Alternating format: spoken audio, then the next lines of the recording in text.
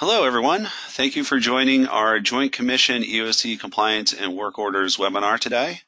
Uh, we're really excited to show the solution to you and you know hope you'll learn something new and interesting in this webinar and you know take it take it back with you.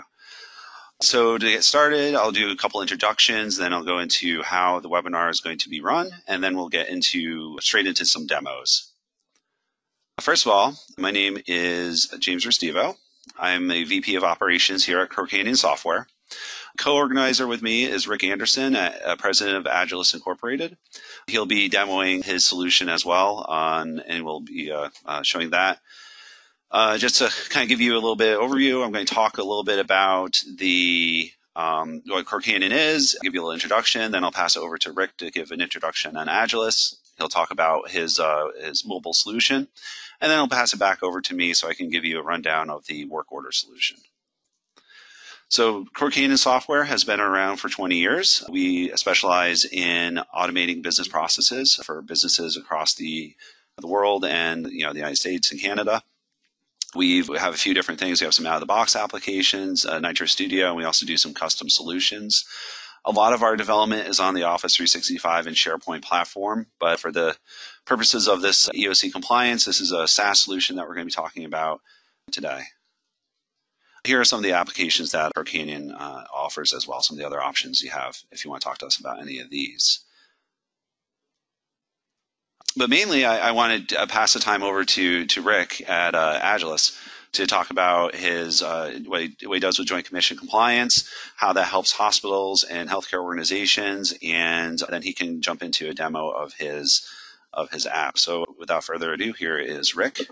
Hello, everybody. Good afternoon. Thanks for taking the time out to look at this. I'm Rick Anderson, and I'm with Agilis. Agilis is a company that focuses on Joint Commission compliance for the hospitals uh, across the country. We have a decade's worth of experience with successful accreditation surveys. And when I think of a hospital, the hospitals practice what we call modern medicine, and what we do is we, we say we practice modern compliance. Most hospitals today, when they're dealing with compliance and tracking the data, they're using binders, and what we do is our focus is on digital inspection reporting. Agilis actually is Latin for agility.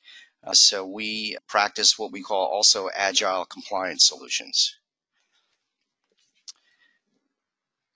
What we're talking about here is I wanted to talk about the state of environment of care rounding. Joint Commission requirements stated in EC 040103 and 040105. As you can see here, they talk about the hospital using the results of data analysis to identify opportunities and also for the hospital to take action on those opportunities that they've identified. Typically, what's happening right now is you have paper based checklists. And the checklists are usually partitioned by discipline, whether that's infection control, safety, life safety, hazardous waste medical equipment, so on and so forth. Or you have a single checklist, which is paper based, that would encompass all disciplines. So you'll have either teams of people that go out and doing these rounds, again, uh, with these paper checklists, or you have a single checklist where maybe one individual is going out and, and trying to identify opportunities. What this leads to that is manual data entry. You know, once all that's done, they fill everything out, and then you have to create reports manually it leads to uh, longer report lead times uh, because after those checklists are put on somebody's desk, I mean, they could be entered in that day, a week, months. Um, you know, it just it is not an efficient way to, to track all of this data. Another thing that you'll see is there are disparate software applications throughout the hospitals. You know, there, there's companies out there that just do environment and care rounds or you know they have a separate work order system. And typically these these work order systems, there's no or in the round system, there's no handshaking between the applications. And that requires also then manual manipulation, either to export or import the data. And what happens there also is it, it's not real time. I'm just bringing up the uh, actual mobile app so that I can show that here. Now, what we've looked for is a, an integrated reporting solution, something that was open architecture, customizable, scalable, and also something that would give us real-time data capture from a mobile app and then also lead to custom reporting. And that's why it was so important and timely that we partnered with Crow Canyon. They had a work order system that we were able to marry our application to to automatically send this data to. So for the hospital personnel that actually do these rounds, they can go up into their departments, out on the campuses, wherever they are, do the rounds, submit the data through this this EOC rounding app, and then it goes right into the work order system automatically, where they then can identify all the issues, assign um, anything that was identified to the appropriate teams, whether it be carpentry, electrical, plumbing, you know, so on and so forth, and really manage that data. So it really becomes a fully integrated solution as it relates to capturing all this data while on your environment of care rounding. The mobile system, so actually our mobile inspection data acquisition system, we call it Midas. It's available on iOS and also Android platforms. The apps themselves, we do have the EOC rounds. We also do equipment inspections as well. But for the purposes of this webinar, we're going to talk about the rounding app. And you can see also here it's role-based access. We have the ease of data entry. All the forms are totally customizable, and you can see them right here. What I'll do right now is I'll just open up one of the apps themselves. So this is actually a rounding app that was customized for an individual facility. If you have different questions or different areas that you need customized or, or different ways you look at things, the app is flexible enough to be able to, to handle that. So that you can have a drop down for all your departments to identify when you're doing your rounds you can there's a drop down here that says next to across from stairwell by. Uh, you put the room. We actually have a drop down here of all the issues that can be customized. There's a free text comment box where you can put in, you know, label chemicals, expired medication, or, or whatever uh, whatever comment you have in there. And then here is where we'll actually assign it to a particular area. Again, any of this can be customized uh, to your facility. Additionally, now we're in the life safety uh, app itself. There are life safety specific questions that are entered into this app. So in addition to the actual issues that you would identify, there's many questions that are standard that are asked while on the, the round so that you can actually track that and determine trending, let's say for life safety or whatever discipline, you know, that you're rounding on. So just to, to show an example of that as well, now I can also, I also have infection control. Again, the app here is similar with the department. You have the findings uh, section, but then just to illustrate, this is this is strictly infection control findings. So again, you can see here I can do pass, fail, or maybe it doesn't apply. And then the questions that you're looking at here are just for infection control. So this would also follow with again, you know, we have infection control, life safety, hazardous waste, medical equipment, you name it. So any of the disciplines, then the app can be customized to to track that data. So what I'm going to do here, right before I pass it over to James, is I'll just enter in a couple of, I don't know, life safety rounds issues. I'll say next to room, and then, you know, we'll have James show this. We'll just pick an issue here, a clean ceiling vent. I'll put in here clean vent.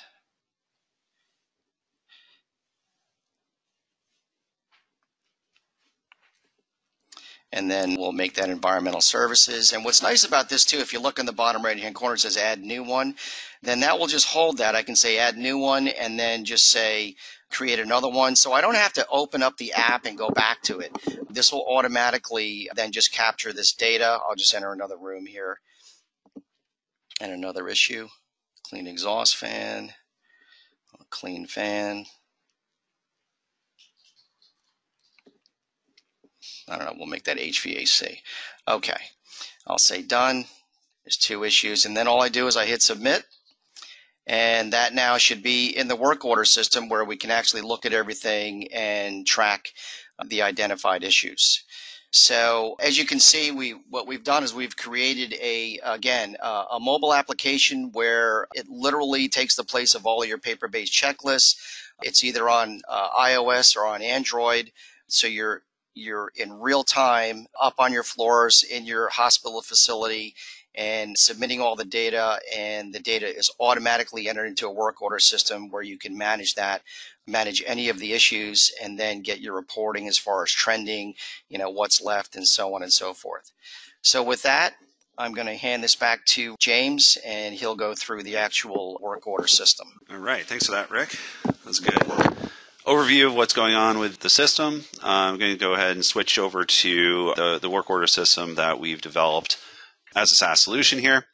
So the first screen you're going to see is the, the portal interface. So this is a portal interface for uh, with, with, limited amount of information for people to take a look at uh, the, the information. So it's really just for end users or people who are going out on the rounds, working the data.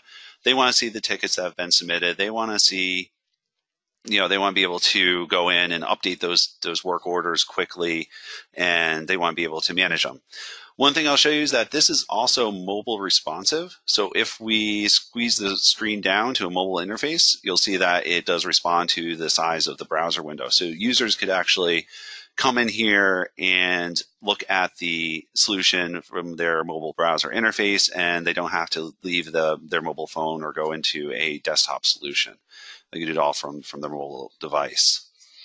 When we go look at the work orders, you'll see that there are work orders that are assigned to the logged in user. So this way, the person who's logged in on their phone will know what work orders were assigned to them. They'll have options for editing the work orders. They'll have options for viewing the work orders.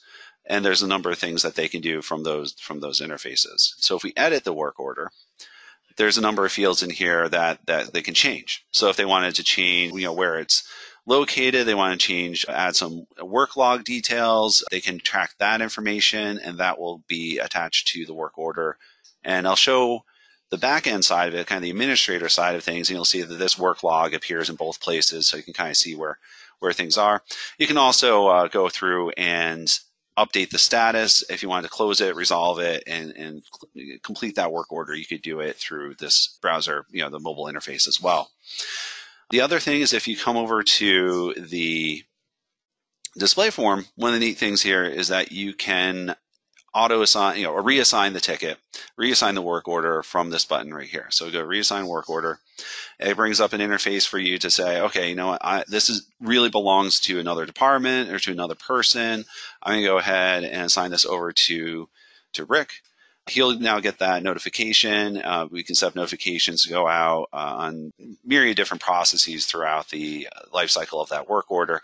But this is going to notify Rick that a assignment has come through and there's a work order and now he knows to go and look for that and complete the work order. So really closes the loop between what Rick was showing with the mobile interface of uh, bringing, you know, they go out, they find the issues, they report the issues, and now what we're doing is showing that there's a, this completes that cycle. So not only was it submitted, people were not only were people notified about it, but now there's responsibility and accountability for actually completing that that process and completing that work order. So from there, I'm going to jump into the back end, kind of the, the what we call the the technician or, or you know facility side of things, where it's a little more of an administrator interface, kind of the uh, overarching. You know, people can come in and take a look at the the the different metrics about the system, different metrics about the work orders, different metrics, uh, and and this is also where you'll find the reporting piece of it. So then what we'll do is look at the different list views. So out of the box, we have a few different list views where you can see what the, you can see different aspects of the system. If we wanted to show all the work orders for a particular department, we can do a quick drop down, click that department, and now what it'll do is show all the work orders specific to that. Let's say we want to show all work orders specific to a requester. We could do that as well. Just uh, simply un filter that and go and filter the uh, requester. And let me go ahead a little bit, give me a little bit of trouble here. There we go. Okay, so now we can do that. And we can also filter on multiple criteria. So if you wanted to filter on requester and then see, okay, they show me all issues submitted by this requester for this practice area. Now you can see, or this discipline, now you can see all the, the tickets or the work orders that were submitted for that requester and for that discipline. So there's a lot of different sorting capabilities where you can really piece through and work through the system and see what where's your where are these work orders? What's their status? What what's the, what's the, where are they in the process? Who's responsible for them? Who submitted them? The other thing is if you you know you can't find what you're looking for by filtering it or by sorting it, you can also use the search feature. So we have an option to go and search all work orders, and if you wanted to show all work orders where the you know assigned staff person is, uh, I'm just going to do this as the administrator. Now I can see all work orders that are assigned to the administrator. And if you wanted to add some criteria to it, show me all work orders that are of a request status of closed and assigned to the administrator. You can do that as well. I'm not expecting any results because I don't think we have any in this demo site, and that's the expected result. We also go back to not started, and now you see that those work orders. And from here, you can click in, and same as on the portal side, you can add, edit, you can assign to someone. There's a lot of different features right in this backend that you can work with too. So that's really to help your managers and facilities managers manage the day-to-day process of these work orders being fulfilled and completed. Now, once you've done all that, once you've you know gone through the work orders, you've completed them, you see where they are in the status, you see how many are assigned to particular people. What you want to do is get some reporting out of this. So one of the other benefits of our work order solution is the report center. So from this report center, you have an interface to create a report, but we've also created a few out-of-the-box reports here, uh, just as, as some examples. Let's say you want to see all the deficiencies by, by discipline. This is going to show you a graph of all the deficiencies by that discipline eh, across the whole list of work orders that are out there. You could further drill down into this just by simply clicking on that bar. Now you get that whole list of work orders. You see 254 is what you're looking for. And that is the number that we see here on the, the chart as well. So you can directly get that information by going to the report itself. The other piece of this is not only do you get this information in a graphical interface, you could also do it in a tabular interface. But on top of that, you have a lot of flexibility, as you see up at the top, to share this information. So we could schedule the report, and that's going to send it as an email to someone on a scheduled basis. Say every week, you want the facilities manager to know how many work orders are still open. We can create that report and put it on a schedule. If you wanted to save it as a PDF, if you wanted to save it as an Excel, if you wanted to print it out or email it, you can on an ad hoc basis, you can do that as well. And the other side, other piece here is that you can filter it by day, by week, by certain time frame. Right now, we're looking at the created date, and we can show all work orders that were created yesterday. You're going to get a different view. It's limited just to what is sent in the yesterday. What was sent in last month? Let's take a look at that. You got that information now right there in front of you. And if you wanted to just call back, bring it back to all of them, you hit no filter. There you go. There's all the information, quick, easy, accessible. Just get it right there, right at your fingertips, right in front of you. Now, a lot of this is a lot of what we're looking at here is driven by what we call Nitro Studio. And so this is a, a SharePoint tool that we've developed at Crow Canyon that we're leveraging, uh, you know, Azure really is leveraging here to provide this full scope compliance solution for hospitals. And one of the one of the great things about it, just to, to touch on this real quick, one of the great things about it is how easy it is to configure different aspects of it and configure different forms. And so we can even go in and create different forms and different different pieces of it. Uh, but really, before I get into that, before I get into some of these other things, I notice we have a couple questions coming up. And and one of the questions I'm seeing here is, do I need to install anything? Well, the answer to that is you don't really need to install anything other than the app on the mobile device. This is all cloud-based software as a service that with, with the SaaS solution, SaaS solution, where users can log in, they can see this data, they can access the data, and it's all you know all cloud-based.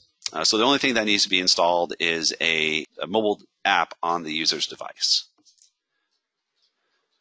Let's see, we got another question here about inspection data. That's a good one. Okay, so can we host inspection data? Uh, and the answer is yes. So, so a lot of times, uh, in, in I'm kind of getting familiar with this world of compliance myself. So this is all kind of new to me. Rick's really the expert in it. But one of the things he showed me is this need for having inspection data as a SharePoint list. And the benefit here is that we can easily get that, grab that information from Rick's mobile app, and we can put it into a list here in the work order solution. And what you're seeing here is a inspection, uh, a list of fire door inspection reports for the 2019.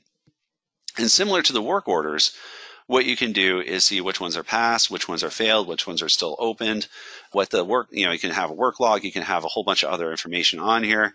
You can have a barcode related to it. But what you can see is that here's all my inspection data. And this is not can be applied to not only fire doors. We've been we did fire doors as part of this demo, but really this could be applied to any number of things, exit signs, you know, fire extinguishers, um, any number of, of equipment that is critical for life safety inspections. That information can be captured in here. We can report on it just as we reported off of those work order solutions. We can report off of this data uh, in this list as well. And there's no restriction in doing that. No additional cost either. And then, so it really gives you a full scope of, of compliance capabilities uh, for those inspections and that equipment.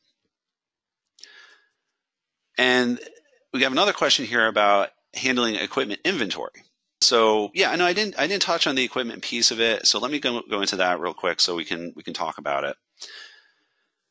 And one thing that Rick pointed out to me is that there's another compliance, uh, another a joint commission snippet, uh, ec.01.01.01 slash EP3. kind of a crazy name, but that's what it is. It's um, gives you a way to track all your equipment directly in the system. So this can come as part of the work order solution that we're providing here. And you'll see on the equipment, there's a number of things you can track. Now we've, we've added some dummy things in here, but here, here's a fire extinguisher. And, you know, there's all sorts of information you can capture here about that piece of equipment. And really, the, to meet the compliance requirements as per that, that uh, Joint Commission uh, requirement, you, you want to see all the related manuals. You want to see all the related warranties. You want to see all the related, you can even tie it back to the work orders, all the related contracts. All that's in here. All that can be tracked, all that can be presented. Easy to use, accessible interface. It, it, it's, it's uh, pretty straightforward. So before uh, I got into the, these questions here, I was, I was starting to talk about the forms piece of it. And one thing that, that we've done that, that Rick showed me that he did actually going through, he didn't have to come to us. He did this on his own. And this is this makes it easy for other users to do the same thing. You want to create a key request form. So we have a forms designer tool as part of Nitro Studio. It's also in our portal over here. I'm just going to switch back to that real quick. And I'll show you that we have this key request form. So this is a form that Rick developed. It's kind of uh, you know designed for a mobile interface at the moment. So if I scrunch this down, it'll kind of look a little better. Let me just do that real quick. Get You scrunch down there. He put in this agreement information, all the fields that need to be captured, all it. It was drag and drop, easy to use interface for creating this form. This is just one example of what you can do with this. So if you want to create other forms, track other information, track other requests, easily put in here, easily accessible. You can create workflows. We have a whole workflow piece of it. I won't get into that. I won't bore you with the details, but if you want to learn more, certainly reach out, let us know. But yeah, there's a whole whole workflow piece of it to send out auto notifications, auto assignment, and tracking. And again, the reporting tool that that's in there, that's part of this as well. So you can track that, create those reports based on these other forms that you create as as needed. So that I think is pretty much the overall, you know, uh, overview of the system. Kind of gives you a good, you know, get your feet wet with it. Kind of shows you what, what it's all about. Uh, certainly, if you want to learn more, we're happy to have a conversation about what this means for your compliance, what this means for your uh, inspections, what this means for your work orders. It really just gives you a full scope of compliance from end to end, from what Rick is doing on his side with his mobile app to the compliance sites that he offers aside from this, and then uh, tying into this whole work order uh, solution. Well, thank you for joining. I appreciate everyone attending, and uh, we'll talk to you soon. Have a great day, everyone.